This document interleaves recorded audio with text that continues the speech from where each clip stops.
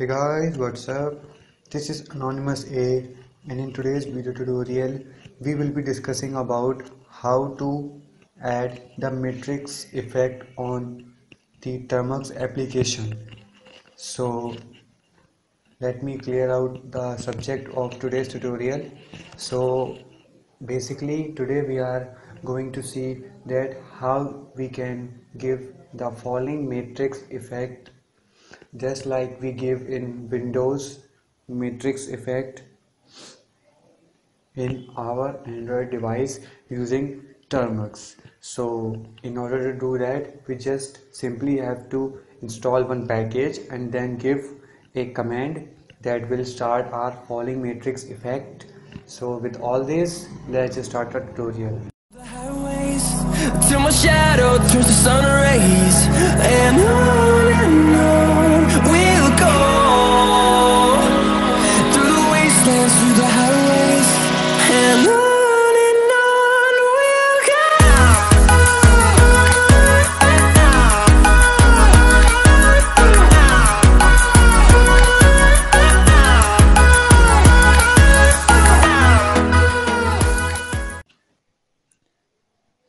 welcome guys this is Anonymous A and you are watching Tech Geek.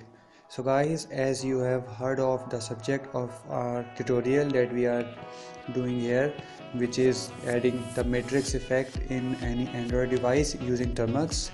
So in order to bring out our matrix effect first open up your Termux. So let's just open our Termux and now after opening termux we have to give this small command that will install the matrix package in on our termux device. That is apt install c matrix.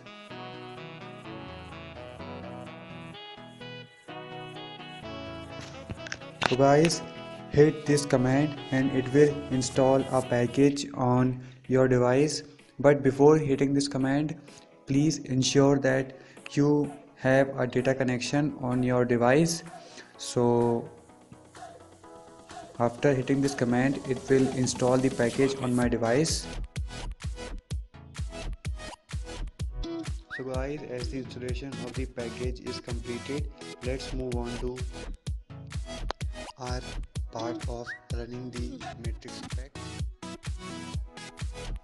so guys as we are done with the installation of our package of the cmatrix so now in order to run the falling matrix effect we just have to give this command that is C matrix and hit enter and it will start off our matrix effect.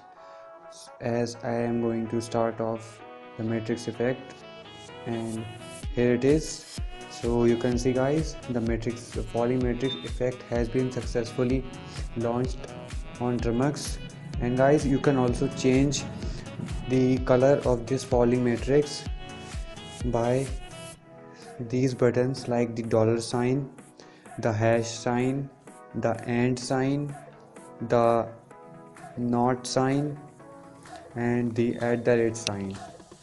These symbols will help you to change and also the percentage sign.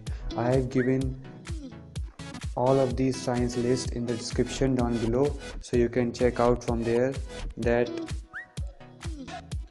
how to change the color.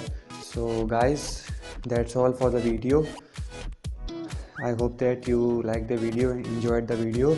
So please like share and subscribe tech geek and please share my videos as much as you can that i have posted earlier and will be posting in future. So that's it for the tutorial. I hope i will see you guys in next next time.